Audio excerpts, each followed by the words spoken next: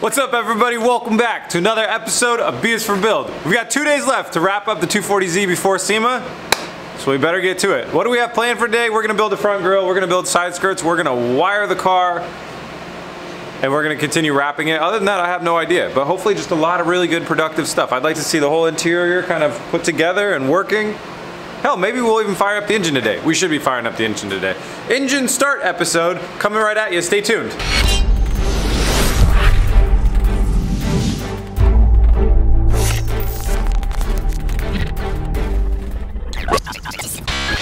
With builds like this, in my experience, towards the last few days, you often see people slow down a lot. And I think that's because they kind of have anxiety over running into a hurdle right at the end. So imagine you work for five months and everything's on the line and you know that if you keep working, you'll get it done, but you also know that if you keep working, you might run into the one thing that just ruins all your hopes and dreams and you feel like all that last five months was all for nothing. So that's just, I'm just sharing that little tidbit of a feeling with you guys. It's a real thing. It happens when you're finishing a project, but my way of getting through it is you build a list and then you just like crank up the music, ignore that feeling in the back of your head and just start burning through the list. And then if you hit a wall, you'll figure out a way to get through. So that's our game plan today. I'm gonna go ahead and keep working on the wiring and Eric's gonna get started on the front, well, not get started, he's gonna continue working on the front grille.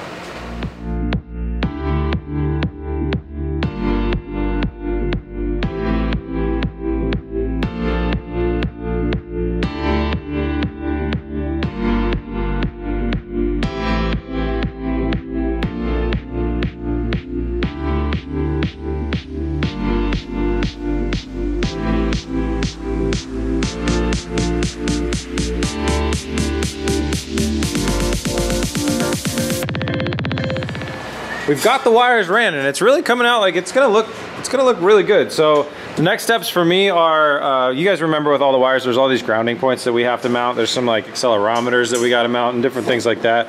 So I'm gonna be organizing, I'm gonna start in the back and then work my way forward. There's gonna be the majority of the wires, because you gotta remember this was for a four door car, so there's a whole section of wires that basically go from there all the way to there that are now kind of like right in the middle here where we gotta bundle up and kind of, and also they run into the trunk. We gotta kind of bundle those up and tie them down and do different stuff. So we'll clean all those up as best we can while mounting them down and mounting the grounding points and grounding them out onto the car. And I'm gonna start in the back and then I'll start working my way up this way until Oscar gets here and then we can start working on the dash. Eric's got the base for our grill built out. He's working on bending the uh, the back braces so that they have the right angle so the grill kind of the slats in the grill move forward with the bumper. And Travis is wrapping our headlight bucket. You can see it's coming along great. Oh, the color looks so good. So once these buckets are off, we're gonna go ahead and paint the uh, this part of the fender right there black and the inside of the bucket black once again because they got a little primer on them.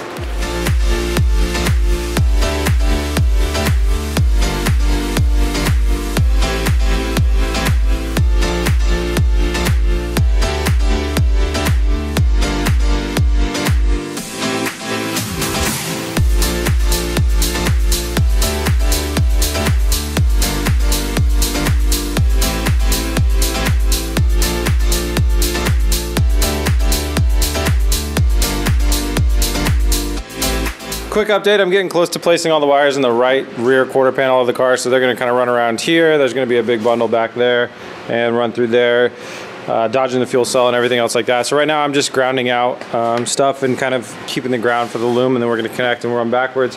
Eric built the uh, front grille. It's uh, upside down right now, but is that upside down? Yeah. Yeah, it's upside down right now, but that's it.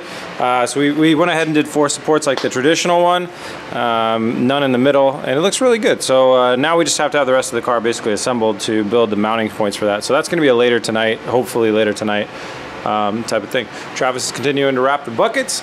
Uh, I'm gonna continue working on wiring and Eric is gonna go ahead and start to drill out the uh, holes for our Downstar hardware for our wide body kit. So uh, once he gets a couple of those in there, we can uh, test with the body kit on the back and figure out how we want to build our side skirts. And I'll show you our hardware once we get that in there too.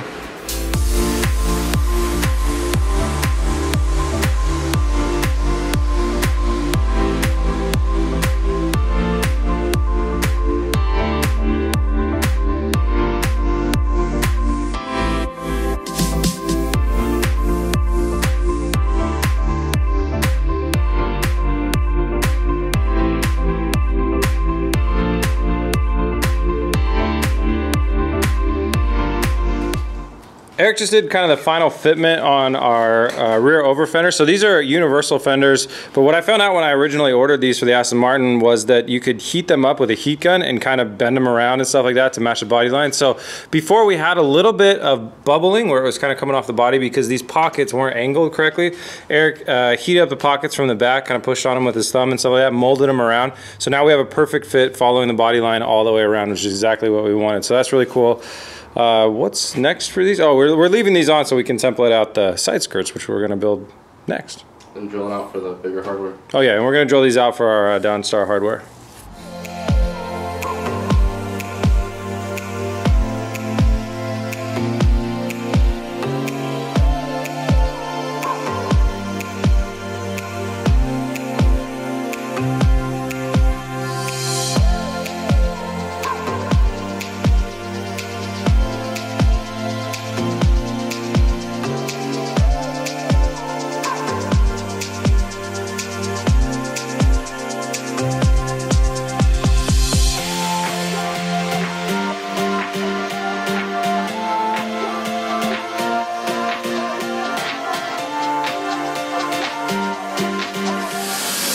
Eric's got the side skirts. We went ahead and designed something together. He cut them out of that aluminum right there. Now he's welding on some mounts under the off of the frame rail. We're mounting it off the frame rail. We're gonna have a secondary mount off of the pinch weld that we'll show you in a little bit. Oscar and I are teaming up on the wiring. I'm working on this wiring back here and Oscar's working on the wiring up there uh, under the passenger seat area.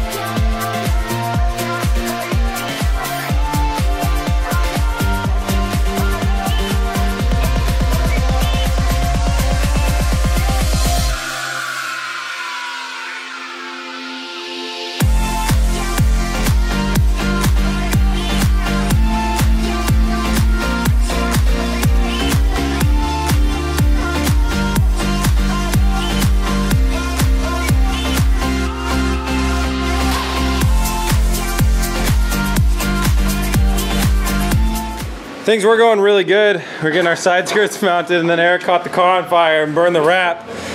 It's not used to catching the car on fire that's wrapped, so uh, guess we're gonna have to redo that panel. But luckily, that's a small panel. It only goes from right there to right there. We can use scrap to do it. It won't really be a big problem. But anyways, Eric's in the process of welding in the uh, fourth mount for the side skirts. So there's three in the back and one in the center there. And we're gonna test out the rigidity of that and see if it'll keep the side skirt nice and rigid.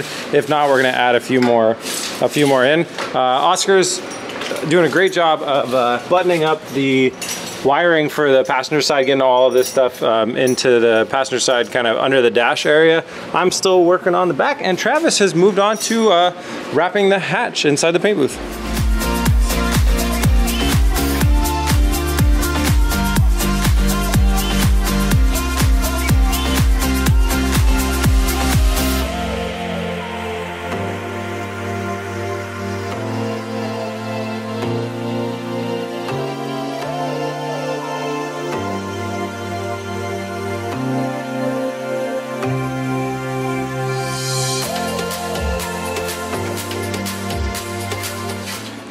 As you saw in the time lapse, Eric's got one of the side skirts down. Now we're gonna go ahead and pull the fenders and run all the front wiring and continue to run the uh, driver side wiring. We're just gonna basically try and tidy up wiring throughout the rest of the build right now.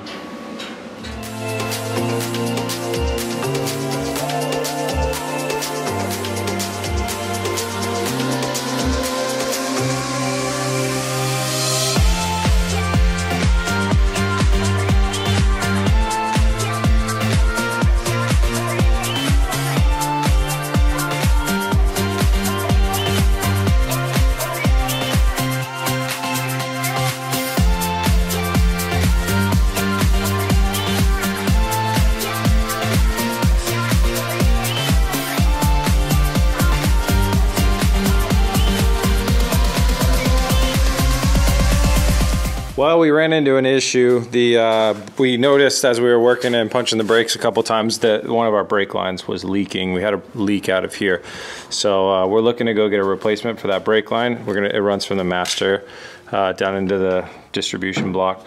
So we're gonna try and replace that brake line tonight. If not, we'll get that one tomorrow. We're gonna keep working on wiring in the engine bay. We're basically done wiring in uh, the cabin. We're getting really close. So the seat uh, sits and rides tall enough that it can actually go over these bundles. So you can see that we've actually grounded out some of our cables right to the chassis there like that and like that. And then they're zip tied to the side so our carpet will go over those. Uh, yeah, and the seat just fits right in like that. In the back, you know, it looks a little messy right now. We definitely have like a bundle of wires there and we have a bundle of wires here. Uh, until we can thin the loom out, that's just how it's gonna have to be. Um, our tail light wire was somewhere right here. Oh, here's our taillight wires right here. And there's another one right there. And uh, we just got our taillights in from the Street Banditos today. I'll show you those in a little bit. Uh, so that's basically the trunk. We're gonna work on continuing to clean things up, but we're gonna build that dividing piece here pretty soon. That'll go across there and the fuel cell will land in there. And Eric is continuing to work on um, getting that side skirt landed.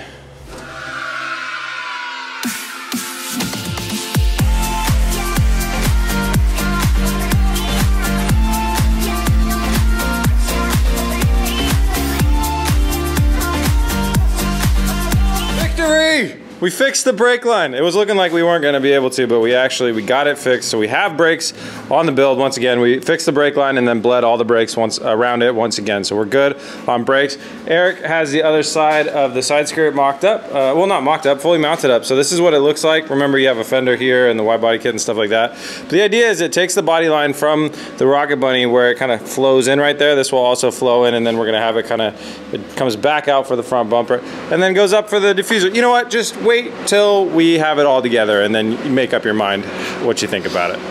All right, Oscar has decided we're gonna wire up the front now and uh, throw in our, our, newly tuned ECU, and I'll talk about that in a second, and then uh, we're gonna hit the start button and see what happens.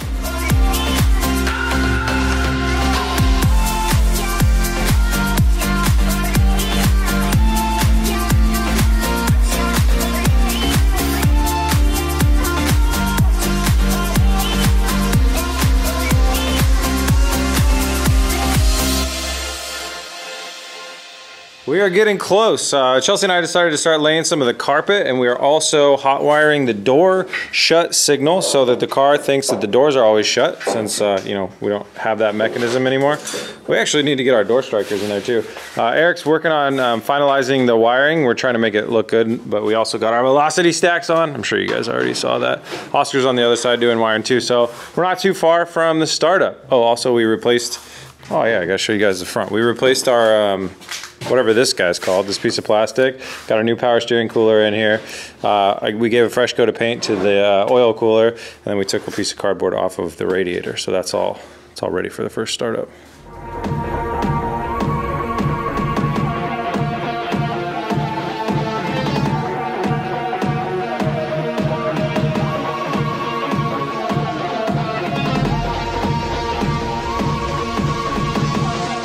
Most of the engine bay wiring is ran and we got the carpet pretty much buttoned up on the driver's side. Uh, we're gonna double check some molding and some trim and see how that looks before we uh, finish buttoning up the carpet on that kick panel.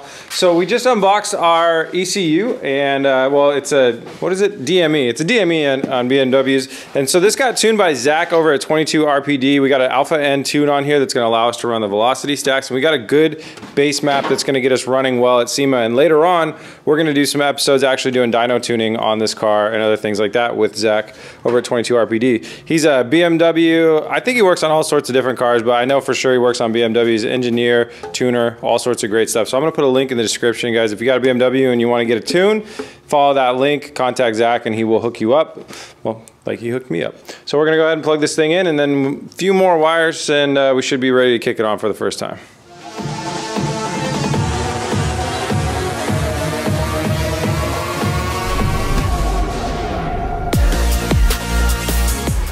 We're closer than ever. We got all our fluids in, so we got a bunch of oil, a bunch of coolant, a bunch of power steering fluid. That's all of them. Now we had brake fluid before. Uh, carpets are in, kind of. We're, uh, we're gonna build some trim to attach it down here that looks a little bit nicer. Dashboard is in for the last time. I did paint touch up on it, because you guys remember it had all that weird paint flaking off of it. So I put more not weird paint on top of it and it looks fantastic. We're gonna go ahead and install our, all of our computers, our trim. Uh, we have a cool modified red start button that we're gonna throw in here. That'll go right there. Get the whole dash installed and wired in and then we'll bring in our center console.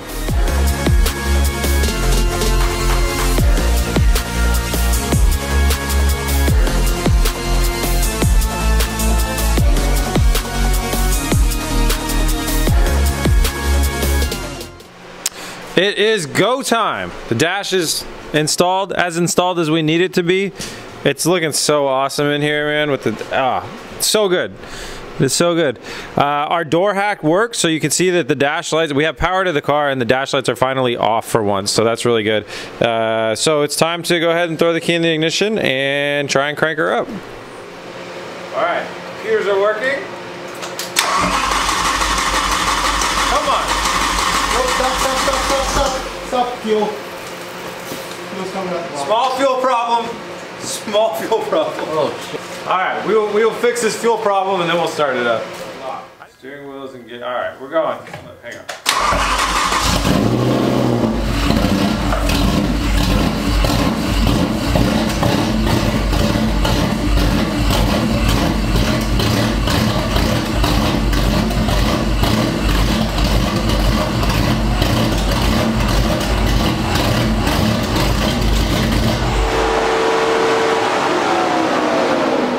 I think we need to put the exhaust on. That was, that was rough. That was really rough. Well, Uh, on the plus side, we did not go into limp mode. sweet. So there's that. It's 3 a.m. The car still runs. We've got a fresh tune on it, and it's a little, uh, little rumbly. But once we get the exhaust on there tomorrow, we'll make sure it sounds a little bit better when we can hear a little bit better in here. And we gotta, we gotta stop the fuel leakage. That's just too dangerous and, and not, not worth it. So we hit our goal for today. The engine runs. Thank you guys so much for watching. Head over to bisforbuild.com to pick up some merch. Uh, I'll see you guys at SEMA Ignited. That's uh, in like a week from now. And um, thanks for watching, guys. Please remember to subscribe. Peace!